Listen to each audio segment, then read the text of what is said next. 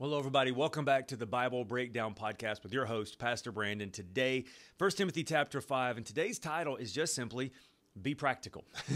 Be practical in what you do. It is so easy when it comes to Christianity to either just go on one side and go, hey, you know what? I don't know, so I'm just not going to worry about it. I'm just going to live my life. Or the other side, we can get so far into the weeds on stuff and what does something really mean and all of that that we forget that Christianity is a lifestyle it's it's working out our salvation with our brothers and sisters. And so God's word is extremely relevant and extremely practical. And so we have to make sure that we continue to be practical in the way we live and not set up ideals that we don't actually have the ability to follow ourselves, but we put it right down where we can all live and we pursue God together. We'll get into that in just a moment. But as always, if you like what we're doing here, make sure you like, share, and subscribe to the YouTube channel and the podcast. Make sure you're leaving us a five star review on the podcast. And as always, join us at the Bible Breakdown discussion on Facebook. And man, the more we dig, the more we find, and they're doing a great job over there. And it's such an encouragement to see those devotions every single morning. If you have your Bibles, want to open up with me to 1 Timothy chapter 5.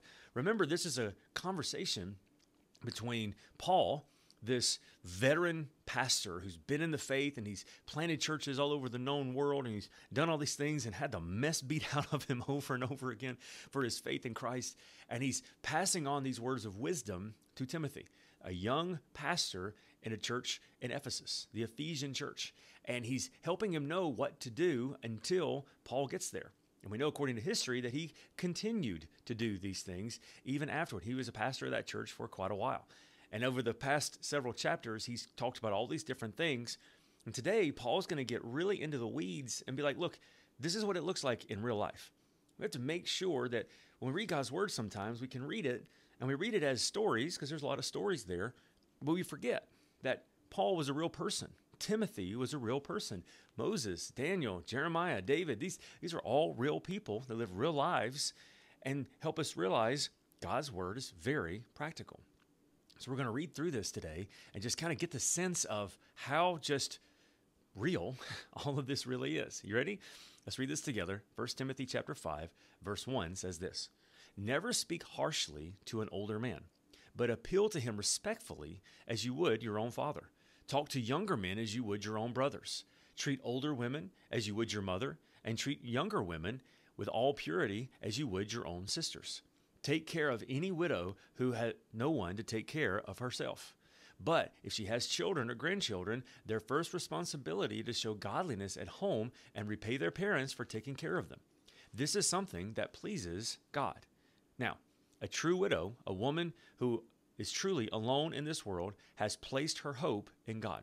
She prays night and day, asking God for his help. But the widow who lives only for pleasure is spiritually dead, even while she lives. Give these instructions to the church so that no one will be open to criticism. But those who won't care for their relatives, especially those in their own household, they have denied the true faith. Such people are worse than unbelievers. A widow who is put on the list of support must be a woman who is at least 60 years old and was faithful to her husband. She must be well respected by everyone because of the good she has done. Has she brought up her own children well?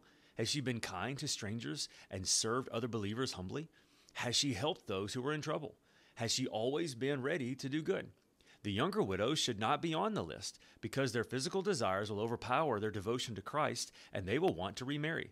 Then they would be guilty of breaking their previous pledge. And if they're on the list, then they will learn to be lazy and they will spend their time gossiping from house to house, meddling with other people's businesses, and talking about things that they shouldn't. So I advise these younger widows to go and marry again, have children, and take care of their own homes. Then the enemy will not be able to say anything against them. For I am afraid that some of them have already gone astray and now follow Satan. If a woman who is a believer and they have relatives who are widows, she must take care of them and not put the responsibility on the church. Then the church can take care for the widows who are truly alone. Elders who do their work uh, well and should be respected and paid well. Somebody say amen. Especially those who work hard at both preaching and teaching. For the scripture says, You must not muzzle an ox to keep it from eating as it treads out the grain. And in other places, those who work deserve their pay. Now, pause for a moment. First of all, you notice at the very beginning, he was talking a lot about widows that are both young and old. What he was saying is, is older widows who have family, the first responsibility to take care of these people is not the church, it's their family. And I know that's different in different contexts and different cultures, and not everyone can afford to take care of the elderly in their home. But there is this idea that if there's ever an issue in your life, the church is supposed to immediately come to aid.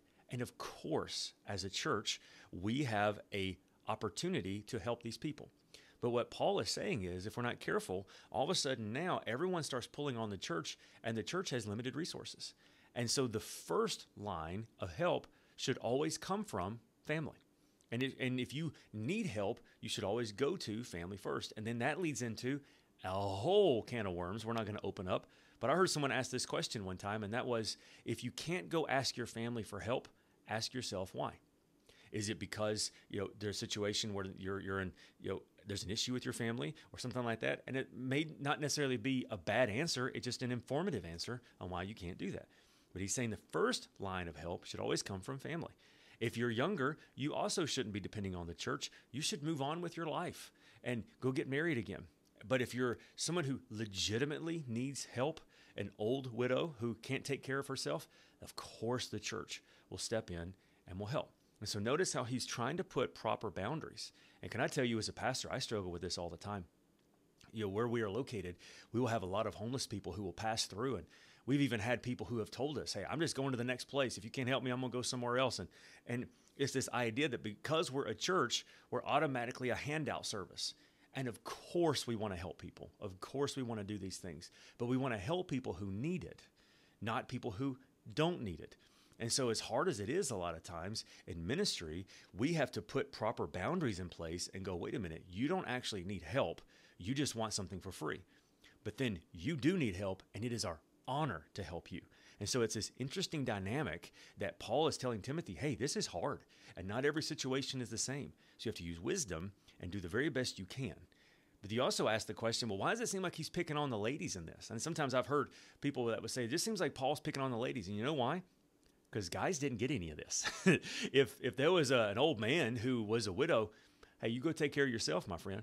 And so be, be quick to not say that Paul's picking on the ladies because he's actually saying this is how you go about helping these ladies. And dudes, you go fix it. you go figure it out. Well, the next thing he's talking about is to my elders. And he simply says it's okay for an elder to get paid for what they do. And we've run into that a little bit in the past, but it's been a real, real long time. There were people who said, well, well, I, I don't want to go to a church where a pastor gets paid. But can I tell you, to be honestly, that that's not God's word. Now, let's also be very practical, and that is it is absolutely a deal that there are some places where some pastors get paid way more than would be considered adequate or fair. But can I tell you, as someone who I've been in ministry, you know, most of my life, and I've been around pastors most of my life, most of the time, the only people you know of that that happens are the ones you see on TV. Most pastors get paid way under the work that they do because they're not in it to get rich. Matter of fact, most people will say if you want to become wealthy, don't become a pastor. I know it may look like it, but it's not it at all. But matter of fact, most people I know get paid less than what they deserve because they know the church can't afford it. And they would rather ministry happen than them have more. And so I think it's a wonderful thing that Paul says, hey, these other pastors in these other areas, make sure we're taking care of them because they shouldn't be hurting because they've given their life to God. Right? Verse 19. Do not listen to any accusation against an elder unless it is confirmed by two or three witnesses. Those who sin should be reprimanded in front of the whole church. This will serve as a strong warning to others. Remember, go back to Matthew chapter 18, where he says, Go privately, then you go with one or two, then you go to the church leaders, and then you tell them they've got to leave. So he's saying, when you do that, tell them they've got to go and make sure everybody realizes what's going on because it's a warning to the whole church. Verse 21 I solemnly command you in the presence of God and in Christ Jesus and the highest angels to obey these instructions without taking sides or showing favoritism to anyone. Never be in a hurry to appoint a church leader. Do not share in the sins of others. Keep yourself pure. Don't drink only water. You ought to also drink a little wine for the sake of your stomach because you were so sick so often. We'll come back to that as we finish. Remember, the sins of some people are obvious leading them to certain judgment. but there are others whose sins will be revealed, not be revealed until later. In this same way, the good deeds of some people are obvious, and the good deeds done in secret will someday come to light. So there's two things there, and then we'll finish this chapter. First of all, he says, Don't drink just water, but drink a little wine for the sake of your stomach, because you are sick so often. So, other words, he's saying is it's okay to take medicine. It's okay to do this. Now, already we know that in the Bible, having a little bit of alcohol is not a sin. Yet Paul is very careful when he says being drunk is a sin. So having a drink is not a sin, having all the drinks is. And so we don't know exactly what's going on here, but it seems as though Timothy has decided to be a teetotaler. He just wants to stay away from it completely. But he's having some kind of physical issues. And so Paul is saying, hey, listen, I know you're doing it for the right reasons, but it's okay if you want to take a little bit for the sake of medicinal purposes. And so it's just a little bit of wisdom there by an older gentleman who is saying, make sure you're not going so far that you're forgetting why you're doing it. And I think we have to be careful with that when it comes to being Christians, and that is to make sure we don't go so far in doing the right thing that we forget why we're doing the right thing, and sometimes a little balance is in order. And then lastly, he gives us this amazing moment of wisdom when he says, There are some people that when they sin, we know it. it's out there and we all know it's there. And there are some people who have sin issues they struggle with. There are some people that when they do something great, we know it. And there are some people that we're not so sure what we think about. We think about them, but the reality is they're doing a lot better than we realize. Therefore, be patient and trust the Lord. You know, if we if we turned everybody out of the church that ever did anything wrong, nobody could ever come to church, including us, right? So we have to be patient. Let the Lord work. And then when it comes to doing good, just because we don't see someone doing good doesn't mean they're not. We have to trust the Lord. So as we finish this together, I hope what you saw today is that God's word is extremely practical, extremely relevant. But the challenge is a lot of times is we have to become students of God's word and do what we're doing right now, consistently, daily reading God's word. And as we do it, we're slowly taking on the mind of Christ. We're slowly starting to think the way God wants us to think. And as we do that, we begin to realize the practicality of God's word. And really, so much of what Paul is saying in this chapter is be patient, let God work, and use your common sense. And as we do that, we will find that a lot of times, a lot of what happens when we are patient, we choose to love, and we use our common sense, a lot of times it will lead us in that direction. And not always. That's why we don't rely on ourselves, we rely on God's word. But as we do that, we find out that God's word has got so much to say about what's going on in our lives. And so I want to leave with this question. As we are thinking through this, what practical next step do you need to take? Maybe, as we read about up top, maybe you see someone in your life, someone in your family who's struggling, and maybe you need to go to them and say, Hey, can I help you? I notice that's going on.